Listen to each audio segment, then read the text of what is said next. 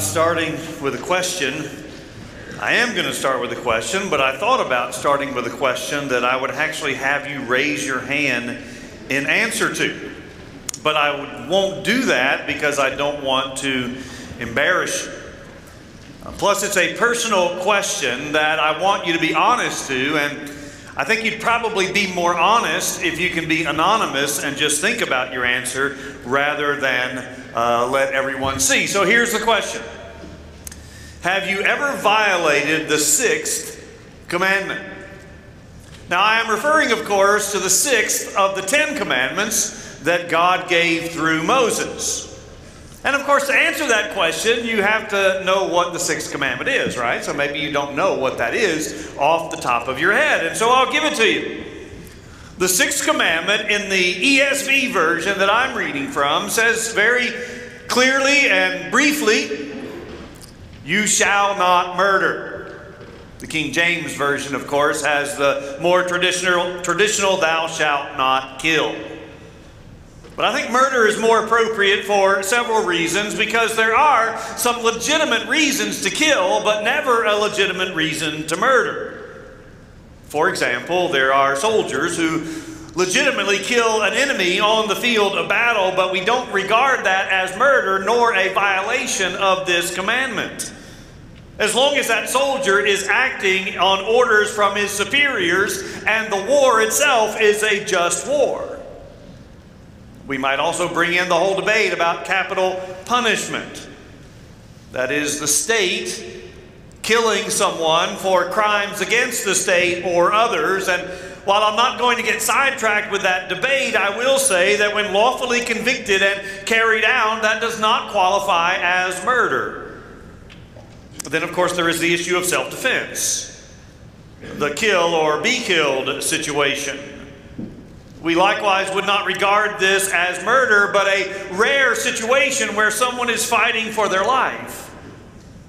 I recall a professor I had in seminary that was a pacifist, meaning he did not believe in violence against someone else in any situation. And someone asked him one time in class, if you were in the unfortunate, unfortunate situation of a home invasion, would you protect your family against that invader, even to the point of death, for the one who has invaded your home? And he answered, No, I would not. Virtually everybody in the class thought that was nonsense. I mean, most of us would fight to the death in that situation with no moral or ethical dilemma whatsoever. And so there are forms of killing that don't qualify as murder. There's accidents where death was not intended, but unfortunately it happens anyway, and that's why our courts recognize lower forms of homicide like involuntary homicide. That is the unintentional death due to recklessness, or death that even occurs due to low levels of criminal negligence. All of that to say, I don't like the general word kill, I prefer the word murder here because murder is an intentional act, an unlawful and premeditated attack resulting in the death of another. So, with that as the definition, have you violated the sixth commandment? And I think most of us, with those guidelines, perhaps all of us would say, No, I've never murdered anyone. Well, that being the case, I suppose we can wrap this sermon up and get out of here early today. If no one here has ever murdered anyone, then this passage of Scripture must not apply to us. But it is, of course, not our definition of murder that really matters. It is God's. And we are going to see that His definition is much more expansive than the definition I just gave you. And once we understand His definition of what genuine murder is, then every hand in this room will go up to the question Have you violated the sixth commandment? Because I'm confident every one of us indeed has. Now, remember last week we looked at the general statements that began this section of the sermon, verses 17 through 20, and then we said that there would be six examples to follow. And obviously, the example we are looking at this morning is the first of those six examples of how to put into practice in our lives so that we could have a righteousness that exceeds the righteousness of the scribes and Pharisees. First century Roman philosopher Seneca said, the way is long if one follows precepts, but short and helpful if one follows patterns. And what he meant by that was that examples are immensely helpful in applying the principles of how to live our lives. And that's what we're about to see six examples. But the real reason I put that quote in there is because I wanted to sound smart. I wanted you to think that while you watch The Bachelor or some other nonsense show like that. I'm sitting around reading first century philosophers. So let's look at Matthew chapter 5, verses 21 through 26 as we tackle the topic of murder or reconciliation. Those are our two options.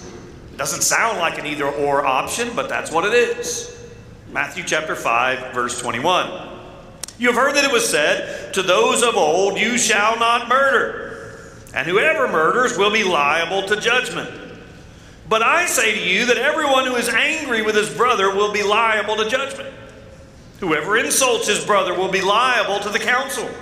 And whoever says, You fool, will be liable to the hell of fire. So if you are offering your gift to the altar and there remember that your brother has something against you, leave your gift there before the altar and go. First, be reconciled to your brother, and then come and offer your gift. Come to terms quickly with your accuser while you are going with him to court, lest your accuser hand you over to the judge, and the judge to the guard, and you be put in prison. Truly, I say to you, you will never get out until you have paid the last penny. Now, from these verses, from the first two verses, we are going to see our expanded definition that murder includes anger. Now, it's important to remind you at this point that this is not a new law. Jesus is not giving a new law, and in fact, in some sense, he's not even expanding an old law. We saw last week that Jesus very clearly said he came to fulfill the law rather than abolish it. So, his interpretation of what the law had always meant is going to be what we see in these verses. And of course, it is going to go well beyond what they believed. But the initial law is not abolished, it is simply properly interpreted. The introductory formula that we will see beginning each of these six examples speaks of his authority to do this. You have heard that it was said, but I say unto you, no rabbi in their right mind would make a statement like that unless they had a death wish or they had the authority to back it up, which of course Jesus does. You certainly wouldn't want me starting something like that. You wouldn't want me to say, Now you've read in your Bibles all of your lives, but I say unto you, you would run me out of here if I started saying those things, and rightly so, because I don't have the authority to make those kinds of statements, but Jesus does. So, even as we delve deeper into these interpretations, we start with the fact that the actual act of murder is still a violation of the law. And in fact, Jesus says that such an act warrants judgment, something that is not in the initial command. I said the initial command simply said, You shall not murder or thou shalt not kill. But in Exodus chapter 21, the very next chapter, we find these words Whoever strikes a man so that he dies shall be put to death. And then, even as we talked about it a few moments ago, right after that statement, there are some qualifications. That is, if you strike a man but you did not intend for him to die, then there are some other judgments that are not as severe as death. And in fact, if it was an unintentional act, then there were some places somebody could flee. They were called cities of refuge. And there were judges and officers appointed to judge the cases to make sure that justice was, uh, was fulfilled. But that much is clear cut, or at least I hope so. Murder is wrong. So we want to focus our attention on the fact that murder includes anger. And to show the seriousness of this matter, notice that the consequences are identical. We see the same exact phrase You shall be liable to judgment. In both cases, Jesus is saying we will face the death penalty, or at least that's what we should face if we are guilty of anger. Now, anger, of course, is more difficult to define. Though we are guilty of this on all points, at some time in our lives. It might start out as a mild irritation due to some minor annoyance or inconvenience. Someone interrupts the flow of your day as you had planned it out. Someone cuts you off in traffic. Of course, we know that that can easily rise to greater levels. That's why we have a name for it. It's called road rage. And it is a growing problem that often begins with someone cutting you off in traffic and you returning the favor. And failure to allow this to just move along causes more trouble. Most of us haven't chased anyone down the interstate. Probably most of us have not cut off someone else in return for them cutting us off, but we have said a few things in the car that only those in our car have heard. And such minor issues can accumulate and build to resentment. Here again, it might be unfair treatment or what you perceive to be unfair circumstances, but one piles upon another, and then eventually it comes out as wrath or fury or rage. You just blow up. And you blow up at something very minor, such that everybody looking around seeing this can't understand why your level of anger is far beyond whatever the situation was. It seems like an overreaction to the immediate circumstances, leaving those who witnessed it confused. Or in our day and age, perhaps videoing it and then putting it on the internet and referring to you as a Karen if you're a woman. Now, I don't know what the corresponding term is for a man, which is quite odd, isn't it? Because men in general have a much harder time controlling their anger than women do, and yet we have a term for the woman, but not the man. But Jesus is dealing with the heart, with the attitudes and the motives, because these are the things that build up to the physical act.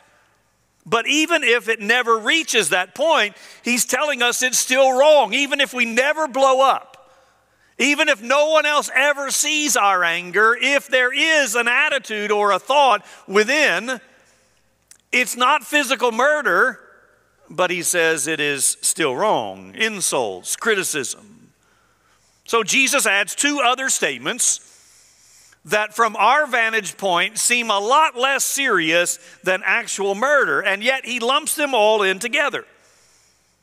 The ESV has the, the next phrase as insults his brother. If you insult your brother, you are liable to the council. This is actually, a, the word insult is actually a transliteration of a word. That's why the King James leaves it as raca.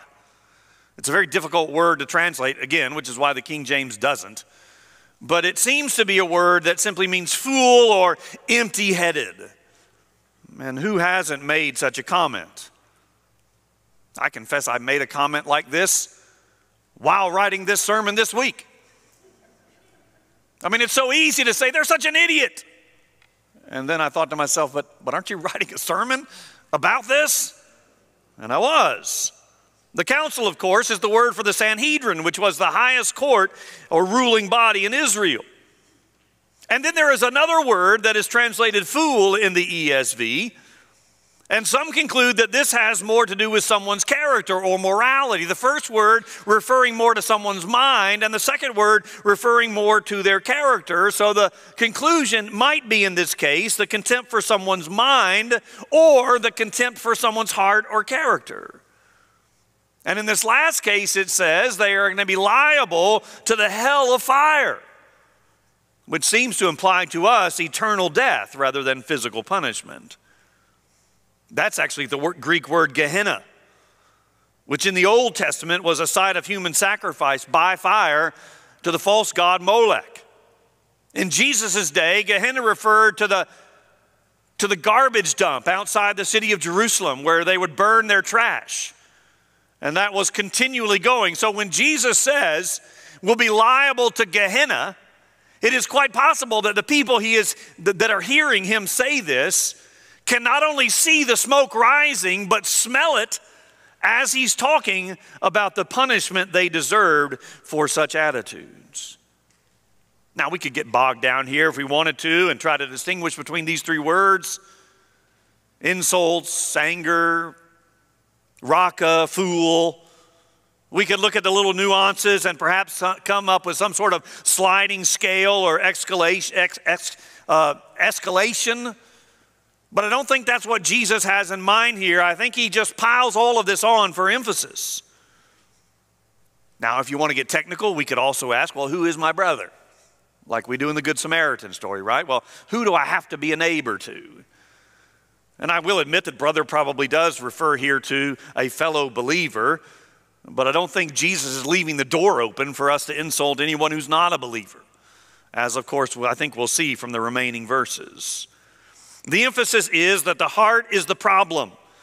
And that is going to be the recurring theme for the rest of Matthew chapter 5. That it is not just an external action that others can see, but it is the problem of the heart, which is why our righteousness must rise above that of the scribes and Pharisees. And that's why he addresses anger and insults and attitudes and all of the other examples to follow.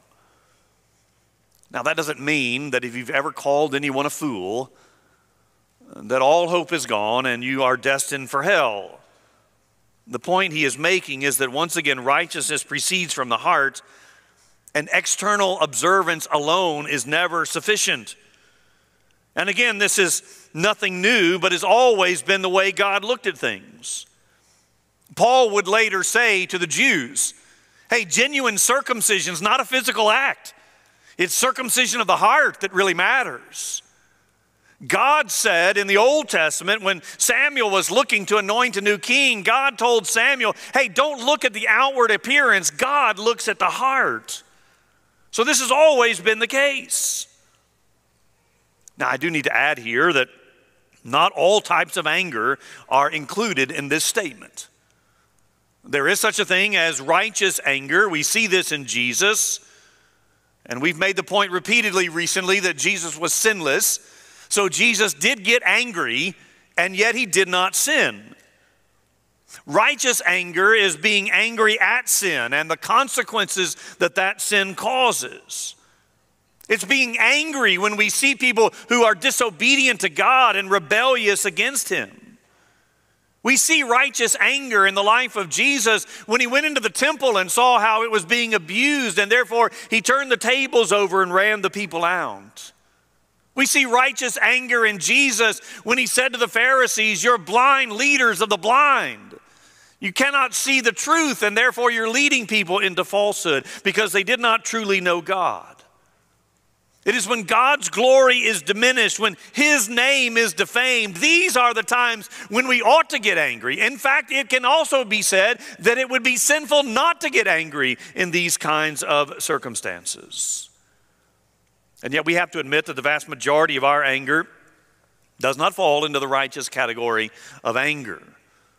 Instead, our angry, our anger usually comes when our name is defamed, when our glory is ignored or discounted, or when our desire is blocked. In fact, our anger tends to form from frustrations in our own lives. We are frustrated with some aspect of our life, maybe multiple aspects of our lives. And because we are frustrated, we lash out at others, taking our frustrations out on them and the circumstances around us. But regardless of the source, the issue is always the heart. And that is why Jesus is addressing it here. So we can't sit smugly back like the rich young man that Jesus talked to when he said, Good teacher, what must I do to inherit eternal life? And Jesus told him to keep the commandments. And he answered and said, I've kept all of these commandments all of my life. If you think you've kept the sixth commandment, then you don't understand the sixth commandment. So before I move on, lest I be charged with accessory to murder, while Jesus lumps all of these in together, there are different consequences when it comes to the action versus the thought. So don't take the approach that since you're already angry with a brother, you might as well take him out. There are clearly much greater consequences for one than for the other. So the question now that rises to our mind is what do we do about it? I think we could all agree that to one degree or another, we do at times explode in anger or at least lash out with harsh words for others. But even if you don't, and if you say you don't, I don't think you're being honest with yourself. You have to admit that there are thoughts in there that sometimes ought not to be there. Sometimes toward even those we love. Earlier generations used to say something like this about their children I could just wring their neck. And most of you know what that means. It's the way a chicken was killed. And so they were saying I could, I could treat my child like I would the chicken in the backyard. We may not use that expression any longer, but we might say something like, I could just kill her. We know we don't mean it, and we know we have no intention of actually doing it, but it does reflect the anger in our, our heart at the moment, nevertheless. So, at this point, we could talk about various strategies to remove the anger from our heart, to deal with the anger, and that would be a good thing and something, quite frankly, I've done in the past. But this morning, I want to confine myself to the text we are looking at, understanding that there are many other things we could say about how to handle our anger from other passages of Scripture. But I don't want to get into a topical solution to anger. I want to say what this text says. And this text says very clearly that reconciliation is better than anger. That the way to solve our anger in our heart issue is to be reconciled with those we have relationship with. And that we have a responsibility in seeking out that reconciliation. So, this is in essence the positive side. We've dealt with the negative side. We ought not to be angry we ought not to hurl insults at people. Well, how do we move from that to the positive side? And that is, we take positive steps of reconciliation toward those we come in contact with. And Jesus teaches this through two brief parables. The first one talks about being reconciled with our brothers. Reconciliation with our brothers. And again, brothers is referring to fellow believers here, not restricted to blood brothers. And so the parable is about a man who is at the temple offering his gift at the altar. I say temple because that's the only place where there was an altar and where they offered such sacrifices at the time Jesus makes this statement. So he says, while you're there in the temple making your sacrifice, if you remember that someone has something against you. Now, notice how that's worded someone else has something against you. The story does not tell us anything about the validity of the issue. That is, we don't know what it was, nor whether it's a valid claim. We simply know that there's a worshiper in the very act of worship who remembers that someone has something against him. And that is also not to say that if you have something against someone else, then you can sit back and wait till they remember it and then they come to you. It is stated elsewhere in Scripture that in that case you still have a responsibility to pursue reconciliation. But here you remember that someone has a beef against you. In other words, anger is building up in someone else's life because of some issue between you and them. And our response is not to say, well, that's their problem. They're the ones with the anger.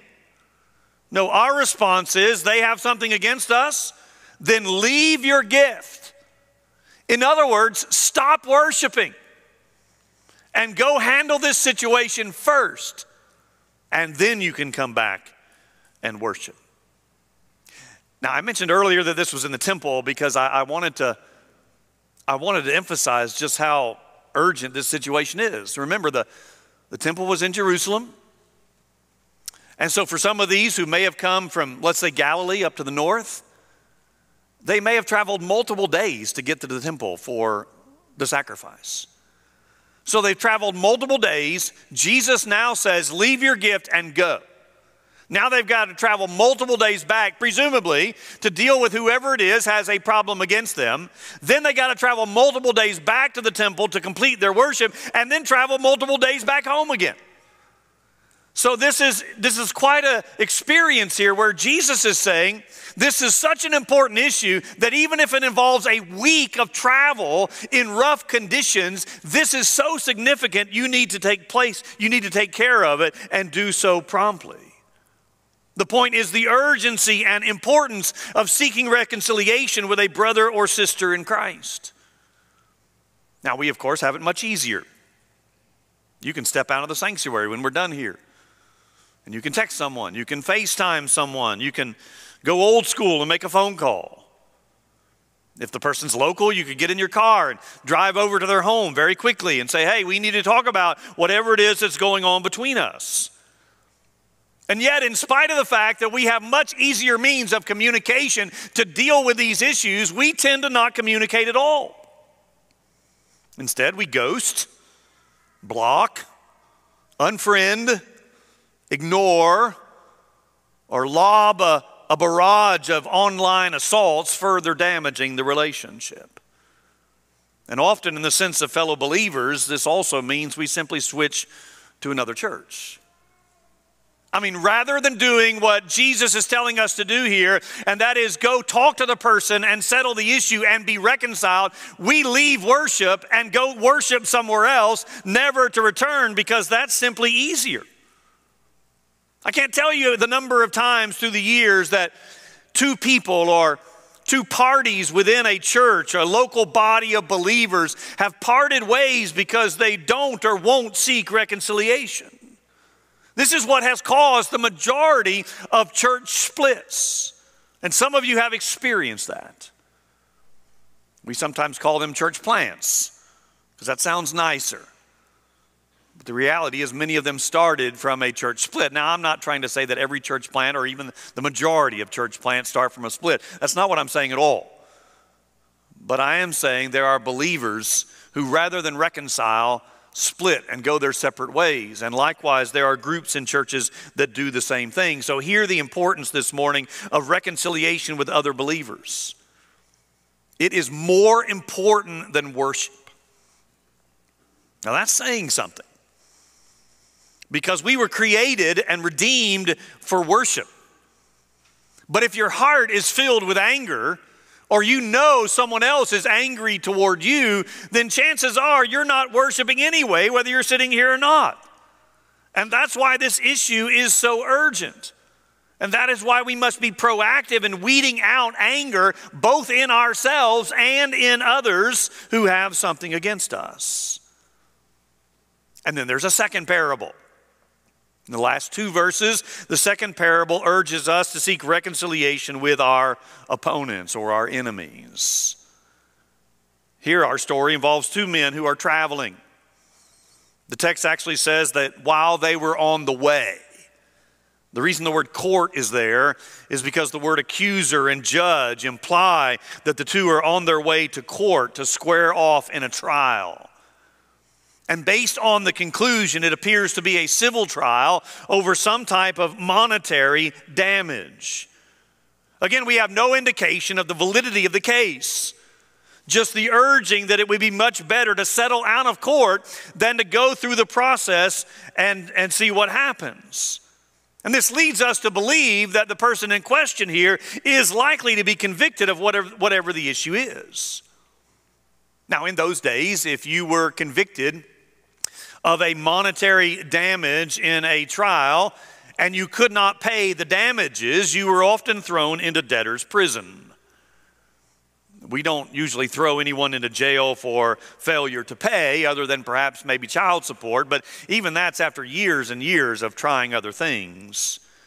Instead, we tend to try and garnish their wages, which certainly does seem to make more sense. After all, if you're in jail, you have very limited opportunities to make money in order to repay the debt. But no one has ever argued that court systems are efficient. So, regardless of what you might think, this was the practice at the time that if you could not pay the, the settlement, then you were cast into prison until you could. And so the last sentence there says that you will be there until you pay the last penny. And the word there is a word that probably means something even less than what our penny represents. Again, stressing the urgency of the situation. The priority here is not to be proven right, if indeed even you are. And of course, we always think we are. Nor is the priority getting a hearing so that everyone knows your side of the story. What is the priority? The priority is reconciliation with your accuser, your opponent. We'll talk more about this as we get to the end of this chapter where Jesus says we're, we're not to hate our enemies, but we are to love them. Furthermore, the priority is not winning the case so that we are not out the money. In fact, let me just say it like this reconciliation is more important than money. And you say, now you've crossed the line. The old folks used to say, now you've gone from preaching to meddling. We don't like people talking about our money. We don't like people telling us what to do with our money or how to handle our money, and we certainly don't like to admit that money is actually more important to us than we know it ought to be. But let someone defraud us or scam us or steal from us, and our righteous indignation grows. At least mine does. I mean, even if the monetary amount is not significant, if someone takes something from me that does not belong to them, I don't like it. And I can get very angry about it. I've had the experience that I know some of you have. Don't sit there and act like it never happens. You call that company up because they've charged you for something they weren't supposed to charge you with and you get somebody on the phone and suddenly it rises to a level that you maybe never intended it to rise to, but you're angry and they're firing right back at you. Frankly, I've done this more times than I care to admit. And I've lost my temper in these phone conversations such that I don't even want to have the discussions anymore. I mean, I tell Tracy, you're going to have to call Comcast. I can't deal with them because I've done it too many times. And I know for my own sanity, I just don't need to talk to them because it just happens. Which is another reminder that no matter the medium, the principle remains the same. We simply cannot conclude that just because we're on the phone with someone and we're never going to see them face to face and they don't know who we are, that we can suddenly say or act any way that we want to act. Instead, our Christian values and heart for Christ and His gospel should control our thoughts and actions regardless of the medium. Now, again, all of this is easier said than done, isn't it? Which is why I was reminded multiple times this week, again, as I was writing this sermon, that I violated the very things I was writing. Which is another reminder of just how radical this sermon is. The Sermon on the Mount, I mean, not mine. And how important it is to have the Holy Spirit guide us. But I also want to point us back to where, what we've already discussed and say there is a reason the Beatitudes come first in this sermon. Beatitude number one Blessed are the poor in spirit. If you're proud and you're arrogant, then you are never going to seek reconciliation with someone else. Or worse yet, you're not going to be willing to reconcile when they seek reconciliation with you. Unless you're living out the Beatitudes, you're not going to live out this passage of Scripture. And then, of course, we read, Blessed are the peacemakers. I mean, isn't that exactly what Jesus is picturing here with these two brief illustrations? That we are to make peace with our brothers and peace with our opponents, and the urgency and importance of this. I mean, to say, to say that something else is more important than worship and money, that says what a high priority this is. Frankly, I thought about beginning this sermon with this phrase some of you shouldn't be here this morning. But I was afraid some of you might get up and, and leave. But for a minister who always wants and prays for more and more people to come to worship, I don't say that lightly. But some of you shouldn't have been here. Because if you're following this text, there's a reconciliation that needs to happen between you and someone else that is a greater priority than even your worship this morning. Because we've seen that murder goes well beyond the act of killing someone without justification, it includes the heart, which again is the same refrain we're going to see throughout this whole chapter. It is not about merely external obedience, avoid killing someone.